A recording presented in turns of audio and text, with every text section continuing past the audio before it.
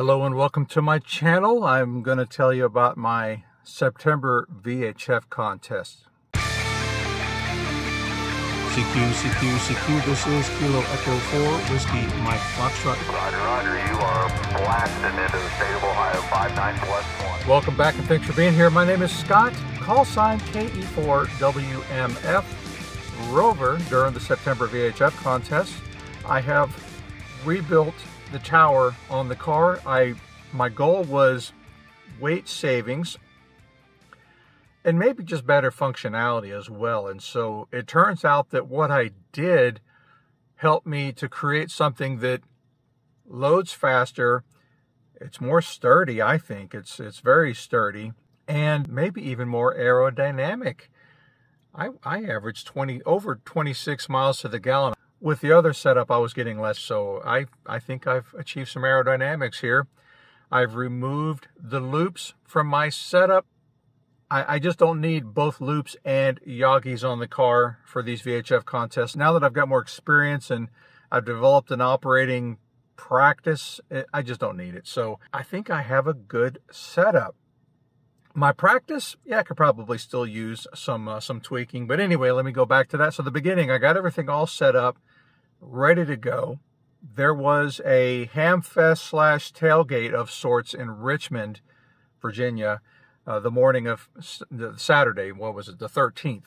And so I decided that I would go to that hamfest, uh, meet up with some of my fellow club members. There was another rover who he wasn't roving for that contest because he was selling some stuff at the hamfest, but I decided I would meet him in person as well. And then that visit turned out to be a little bit more of an exhibition of the car than I thought it would be. And, and that's okay. I was there for a couple of hours. And because I left at 11 and the contest didn't begin until 2, I had all kinds of time to wander out to an area that I didn't think that I was going to visit. And this is in the Blue Ridge Mountains on Skyline Drive. A lot of people at East are familiar with that drive. And it's a long road to drive for a contest. It's a huge time suck, but I was able to drive in a little ways and there's a few scenic overlooks. And I had made up my mind which overlook I think I wanted back when I was an inexperienced contester. And so I chose the one that looks east because back in the time I thought, yeah, I would be contacting people back home. And I forgot that my method had changed. So I was at the wrong overlook because the one that I should have been at is the one that looks north because from me, most of the people that I make contact with are to my north. So I chose the wrong overlook. I still did okay.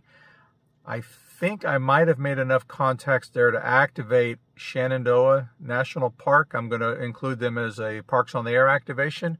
And then uh, from there, I, I drove. I was behind my schedule now because Skyline Drive is two hours out of my way compared to my regular schedule because it's an hour out and an hour back. But then I dropped off one of my other operating positions. My joke for uh, Saturday evening was at this point, I probably have put more dollars into my fuel tank than contacts into my log. And uh, that I think was true at the time. But now I'm looking and I have, uh, after I guess I had a very good Sunday, 140 contacts all told. And I did not put $140 into my fuel tank. I think maybe 75. This car, it's probably one of the more expensive to operate Rovers because it requires premium unleaded. I got the car before I got into roving and I'm not getting rid of the car just because I have new radio activity. So I'm running what I've brung. That's just the way it's going to be. So, uh, yes. So 140 contacts. I operated from, I'm going to show you my log here, just the front of it anyway. And you can see that I have 38 contacts on six meters. Six meters was not really very active. Uh, two meters, 64, and uh, one and a quarter, which is, uh, I just call it the 222 band. It just rolls off the tongue better. I made 19 contacts on that band. When I look at the score statistics, uh, total contacts was 140, but then my QSO points, because the contacts that are on 222 and 432 are worth more than the ones on the lower bands. And uh, multipliers, I think those come from operating to or from different grids. And so I operated in, I think, seven grids. And uh, my total score, if this is correct, and I don't have duplicates, I'm sure I have at least one or two duplicates in there, uh, but 8,188. And that's that's not bad, especially when considering how gosh, voice, it just there was just nothing there. Hardly even really any band openings on FT8 on six meters. Two meters really came to life Sunday evening, which was last night. To my surprise, if I talk about my history with the 222 band, when I first started as a limited rover, I only ran three bands. Now, I couldn't enter as a three band operator because I was uh, entering as a rover. And so the lightest class that I can operate as a rover in is limited rover, which is four bands. So basically, I was running three bands and losing any opportunities that I could have made in the 222 band.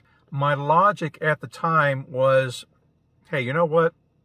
If I get enough people asking me, hey, Scott, do you have 222?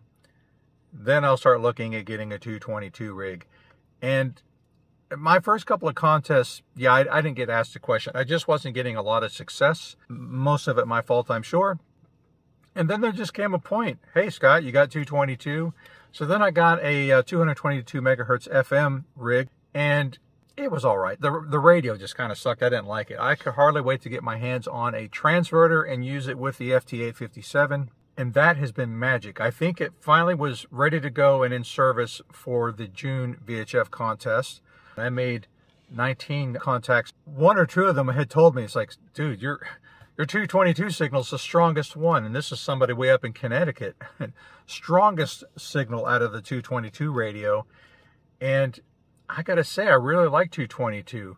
Somebody had told me that that was their favorite band because it has similar propagation properties to 2 meters, but the clarity of 432 and I agree. The key takeaway don't delay on 222.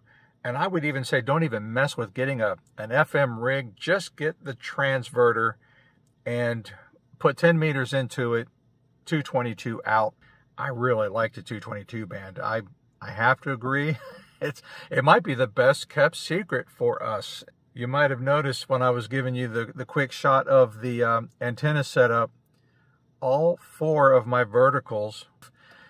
Now that I have four Yagis on the roof, they are a collision hazard. All of the antennas are a collision hazard except for the WeBoost. But I have replaced all four of my mounts with K9000 motorized mounts. Totally unnecessary, but totally fun too. So when I stop someplace and want to rotate the Yagis, I just hit a couple of switches and they all come down. I have them on, on uh, bigger switches that I can I don't have to focus so hard on pushing the soft touch switches that come with the mounts. And I have them divided into the ATAS and the 222 FM antenna. They're both kind of tall. I can put them down separately because sometimes I want to leave the dual bander and the Wii WeBoost up because sometimes I'm operating someplace where I need to turn on that Wii WeBoost and pull in uh, an internet signal. And so it's nice to have options and then when the tower is not up, the motorized mounts will let me get into a parking structure without having to remove my antennas. And so I think that's pretty cool. It's a novelty. It's uh it's not smart money spent, but hey, I wanted to do it and there we go. Something else that I wanted to share with you is I have uh, I have three radios it used to be difficult to manage the cables that are coming into the computer over here because I used to have like three of them and a USB hub. I had sound card inputs and things. Well, what I've done is I switched to the DigiRig mobiles for the FT857D and the FT891. The 891 actually has its own version. I think it's called the DR891, I think.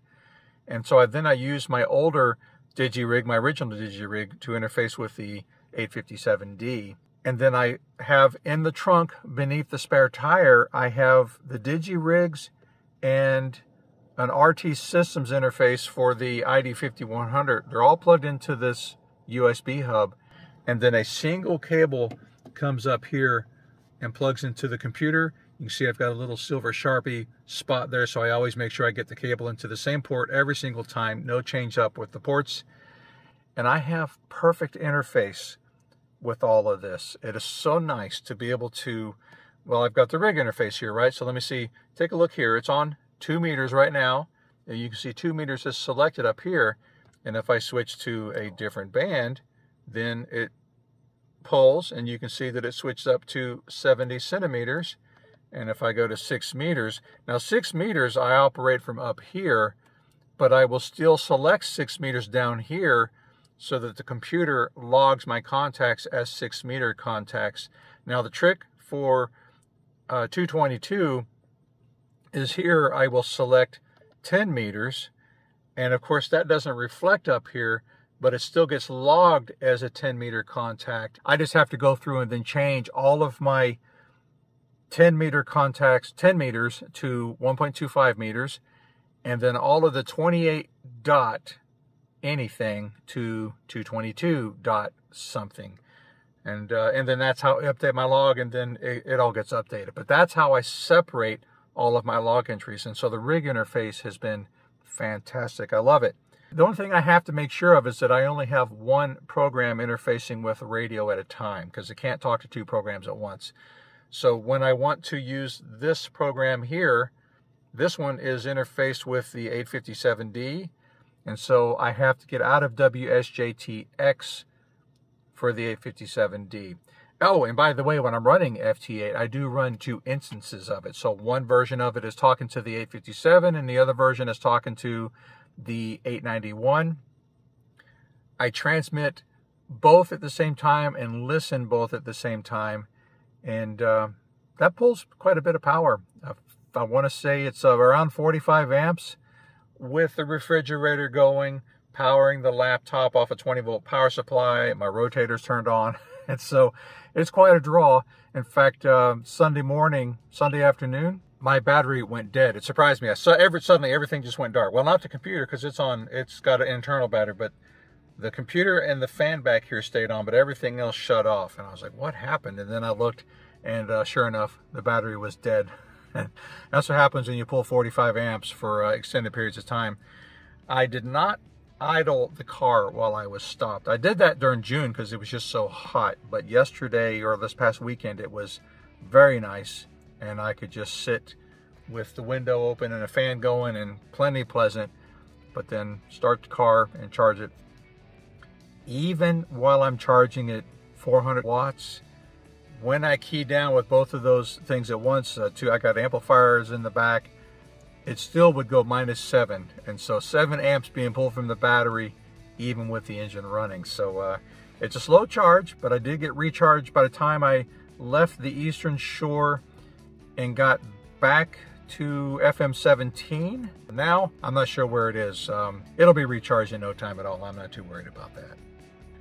That's about all I can think of to pass about the contest. I'm looking forward to, uh, to doing more. This seems to be my final setup. I think I'm done. As always, I appreciate you being here. I'll see you next time. Take care.